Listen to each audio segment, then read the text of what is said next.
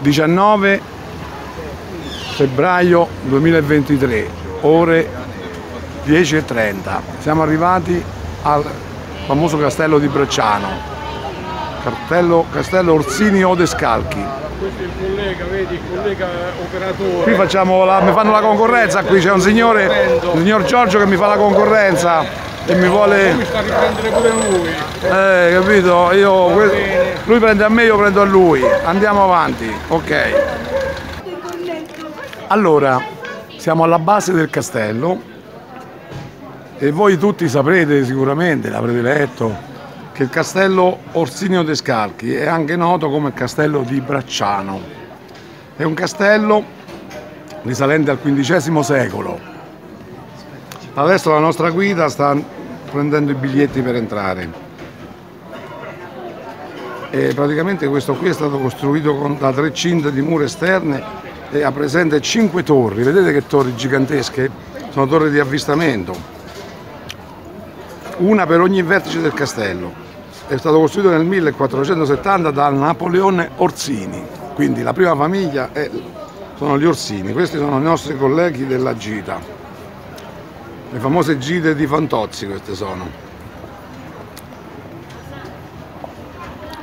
Il castello apparteneva a Braccio di Montone, vi, ricorda, vi ricorda qualcosa Braccio di Montone?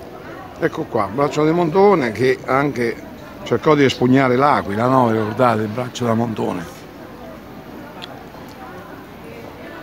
Il castello apparteneva a Braccio da Montone e dietro richiesta del Papa per motivi politici fu donato a Orsini, al capitano Orsini, capitano delle guardie. Ok.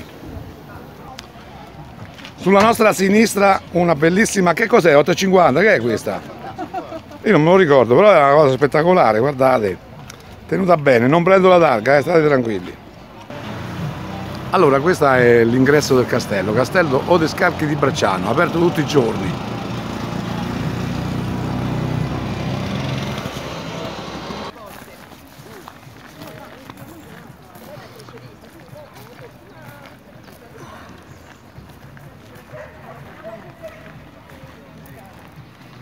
Il fratello di Napoleone, il cardinale latino Orsini, non è Napoleone Bonaparte, eh? è Napoleone Orsini, il fratello di Napoleone Orsini, latino Orsini, era il camerlengo del Papa Sisto IV, proprio negli anni in cui venivano costruiti quasi simultaneamente la Cappella Sistina e il castello di Bracciano. Si aprono le porte del castello. Oh, per noi si aprono le porte del castello. Vai, vai, vai, stai, stai, non vi riprendo. Vedete com'è costruito? Questo, questo pietrame è sempre una arenaria, ma più che arenaria questo è una roccia, una roccia vulcanica mi sembra, la vedo molto scura, non è proprio la nostra arenaria, la classica arenaria, che è un colore più chiaro. Questo è un po' scuro, io penso che questa sia di origine vulcanica, perché queste zone è pieno di, di vulcani quindi di laghetti vulcanici, quindi qui la zona di Viterbo le rocce non sono proprio arenarie. Ora andiamo a vedere da vicino, eh? che voi sapete che a me la passione per le rocce, ho fatto geologia, l'esame l'ho fatto, quindi conoscevo le rocce. Queste rocce non sono, non sono, arenarie, queste rocce sono di origine vulcanica, le vedi come sono scure? Eh, vedi, questa è l'illuminazione di un tempo, le bandiere, le Questa roccia qua si chiama peperino. Sa come si chiama questa roccia? Peperino. Eh, lo vedi come ci sono i lapilli? Eccoli, guardate, guardate da vicino. Vedi? Questi sono i lapilli vulcanici. Questa qua è una roccia effusiva, vedete? Cioè effusiva nel senso che è uscita fuori dal vulcano, non è intrusiva come il granito, che si è solidificato a grandi temperature. Questa è effusiva, le temperature sono inferiori, però comunque sembra una grande roccia, eh e lo usano molto nell'edilizia, il peperino. Da non confondere con la pietra serena. Eh. Queste le cose là. Queste lesene, queste lesene che stanno nel portale qui, i miei colleghi mi dicono a che servono. Sono fatte per far entrare i carri, i carri giganteschi. Queste sono all'altezza delle ruote dei carri, vedete? vedete? Questa muratura qui invece è fatta di calcare, carbonato di calcio, vedete? Da non confondere con la pietra serena o il peperino. Ma per- perché la Gioconda era falsa quella lì, l'hanno rimessa una fotocopia eh, quella è. Come fai a fare la foto delle Gioconde? Non te la fanno fare, no? Comunque vediamo se ci fanno fare le riprese, non lo so, eh. Ascolta, ti ho mandato ci stai alla gita. Non. Non lo sapevo che ci venivo. Però guarda, vi faccio una ripresa di due esemplari di donne abruzzesi. Vedete come sono forti e gentili. Questa è la signora ride. Eccole qua. Diciamo che insieme faranno 200 anni, però vabbè, sono sempre forti e gentili. Ecco qua una ripresa del lago dall'alto del palazzo di Bracciano, vedete? Questo è il punto più alto de- della, della città, vedete? Purtroppo oggi c'è un po' di foschia, non possiamo vedere i paesi intorno al lago.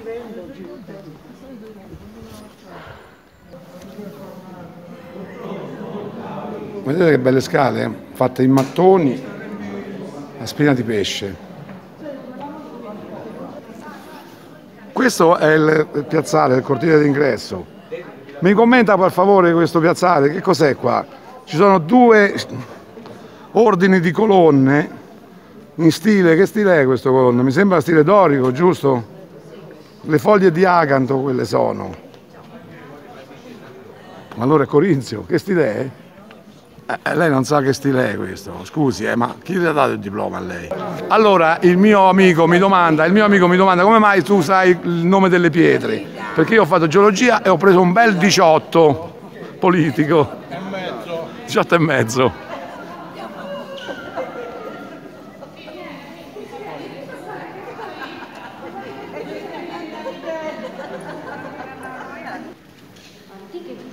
Queste allora, ragazzi, queste sono le antiche cucine dei, dei- dei principi Orsini e, o dei Scalchi, vedete qui?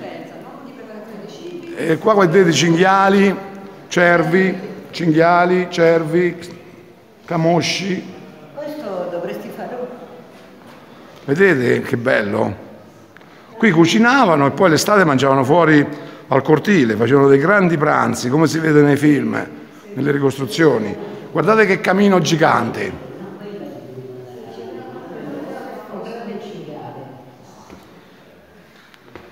È una cosa impressionante. Questi mangiavano, non guardavano in faccia a nessuno. Guardate che, che camino enorme qui. Guardatelo, mamma mia, questo cucinavano e andava tutto sopra. Guardate che camino gigante. È enorme, una canna fumaria di, di un 50 per un metro, per un metro per un metro. E vedete qua i lavandini per lavare. Avevano l'acqua in casa questi, vedete qui. Beh, è una bella cosa, eh. Mm.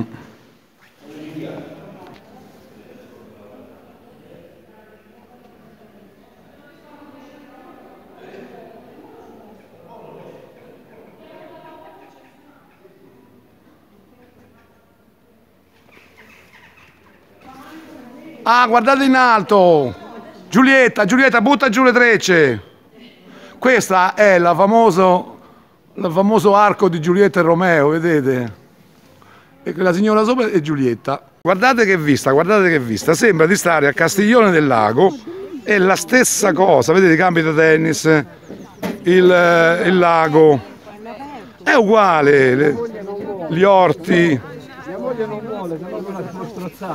Guardate, ma anche impressionante, tutti uguali queste località intorno ai laghi sono. Guardate una barca. Beh, molto bello. Però qua di diversità c'è una bellissima chiesa, con un bellissimo campanile.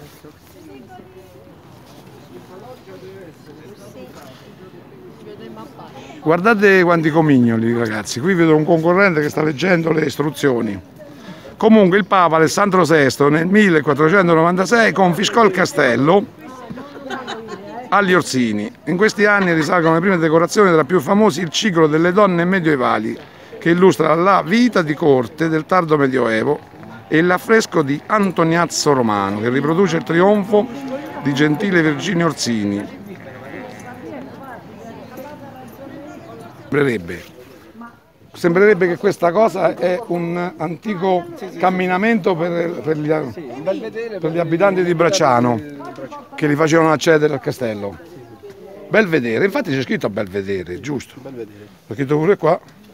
Grazie, prego. Eh, ma io ce l'ho qua, non sta scritto il mio. Allora, siamo all'interno del palazzo, del castello, e vedete ogni stanza ha un camino. Vedete che camini giganti? Non lo so se tiravano, io penso che tiravano perché è tutto aperto qui. Quindi si crea una, una decompressione, quindi sicuramente funzionavano questi camini però per riscaldare queste stanze c'era ogni stanza un camino, questo è una cosa sicura. Questa qua è la loggia delle armi. Questa collezione di armi è il risultato della passione ottocentesca di Elio De Scalchi. Si tratta di oggetti per lo più rinascimentali che dialogano naturalmente con l'affresco del 1490, con l'accoglienza data dal re di Francia Carlo VIII nel castello di Bracciano. Eccole qua le armi.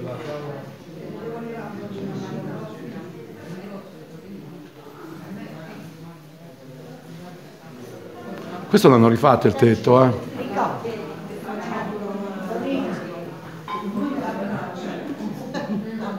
Questo tetto è stato rifatto, perché vedo che hanno messo delle, delle cose, hanno rifatto il tetto che vedo che hanno messo delle, dei rinforzi, vedete, una capriata hanno fatto. Questa è un'opera di recente.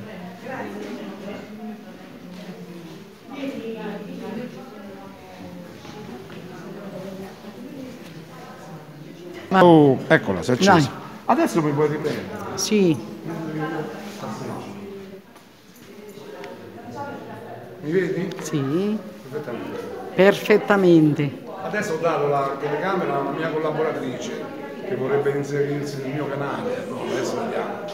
Noi parliamo, vedere quanto mi dà. Pure. Eh, certo. Se mi dà un, un bel- un bello stipendio io lo assumo. Lei che deve dare a me, chiaro. Il canale mio, Però è fotogenico. Guarda che bello. Fotogenico. io. Ma che fotogenico che ho i capelli bianchi ormai? No, è Ah, bello. Come devi vedere quando ho i capelli neri, neri? Queste ce l'ho le foto. Don Antoniazzo. Dai, mettiti là pure. Cammina. Quello là, Che cos'era? Antoniazzo, mica quello faceva prima con... Antoniazzo faceva il vino con Cagliazzo? No, però a noi si diceva, mo non so se sta riprendendo. Non la posso dire questa, però si diceva che Papa Sisto con gli occhiali, che se i cardinali. Sì, sì, Ah, la sai, ma dai. Qui stiamo di fronte a un affresco di Antoniazzo Romano, pittore, che riproduce scene di, di, diciamo, di guerra, di, di- di richiamata alle armi. Che cos'è qua? Come lo possiamo chiamare questo? Scene di tutti i giorni. Vediamo che dice la didascalia. Lettera del 1 gennaio 1490 del pittore Antoniazzo Romano al convintente Virginio Orsini. Virginio Orsini gli ha detto fai sta cosa e lui ha scritto questa lettera. Vedete scritta a penna con l'inchiostro. Si capisce pure però, eh, vedete? Signor mio, signor mio, firmato, vedete, Antoniazzo Romano, vedete sotto? Pittore, Antoniazzo Romano pittore. La cavalcata di Gentile Virginio, eccolo che cos'è questo. E l'incontro con Piero dei Medici, ah, vedete? Questa è la cavalcata, eccola qua, cavalcata di Gentil Virginio che incontra Piero de Medici, giusto? Dico giusto. Capito che cos'è questa? Questa è la cavalcata di Gentil Virginio che incontra Pietro de Medici, capito? Mamma mia, vi devo spiegare tutto. Guardate qui come stanno messe in ordine queste, queste, queste, queste armature, guardate. Lei ha cominciato a ridere dall'inizio, sta signora. La, la signora vabbè, mi piace che è antipallegro. Mia moglie sembra arrabbiata, sta. Mi piace, le persone solari, solari, da sole. Mm, mm, mm. Guardate che belle capriate, queste erano rifatte nuove, eh. Sono recenti queste, penso degli anni sono molto recenti, vedo. Eh. Questa si chiama capriata palladiana, vedete, perché ha i, i contraffissi, vedete, la catena di legno di castagno, che qui abbondano i grandi castagneti qui, eh, intorno a Bracciano. E quella sopra è il monaco con i contraffissi. Vedete che brevetto, quello è Palladio l'ha inventato, vedete, per ripartire i carichi, guardate che brevetto che si inventò Palladio, famoso architetto Palladio, famoso nelle zone di Verona, Vicenza, no? Grande architetto. Prima non esisteva la palladiana, esistevano le capriate normali, semplici, con un monaco centrale, senza i contrafforti. Ok? Andiamo avanti.